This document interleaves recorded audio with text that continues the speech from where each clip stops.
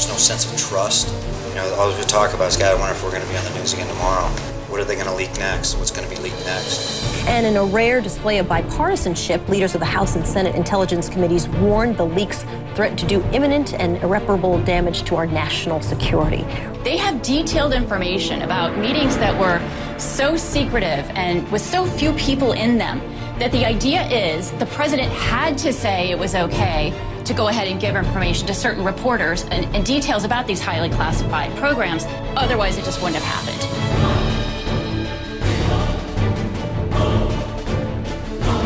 You guys are very, very angry, very disappointed, and uh, just there, there's just bottom lines are just that, that feel there's lack of trust. I think that's pretty much across the board, pretty much everybody that I've, that I've talked to. And we talked about the, the trust deficit in, in, the current administration because there's a there's a pervasive feeling throughout our community that he's going to use whatever makes sense to get him reelected and doesn't really care about the folks who are there on the front lines fighting for him.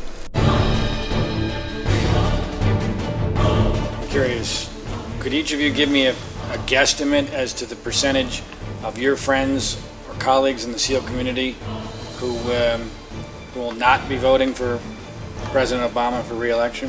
99.9%. I'd say 95%. I'll go with high 90s, but also pay attention to last election in 2010 where a lot of absentee ballots that were from the troops, from military, were not counted because they were sent out late or they were neglected. And that's just a reason why you wouldn't want those things to be to be counted.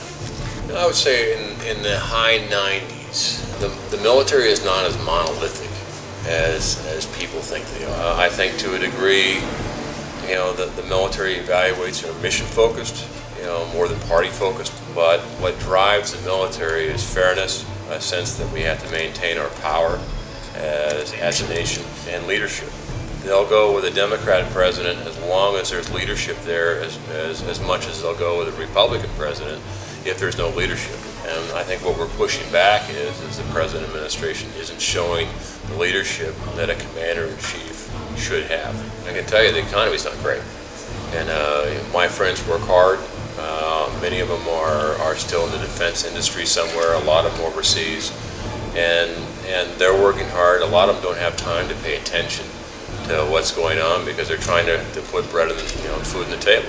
And that's a big issue is that where we're asking the military, former military active duty to pay attention and uh, call of duty to make sure you understand what the facts are and be an American and participate. But don't let others you know, decide for you is get engaged. America needs to take back our country and America is us.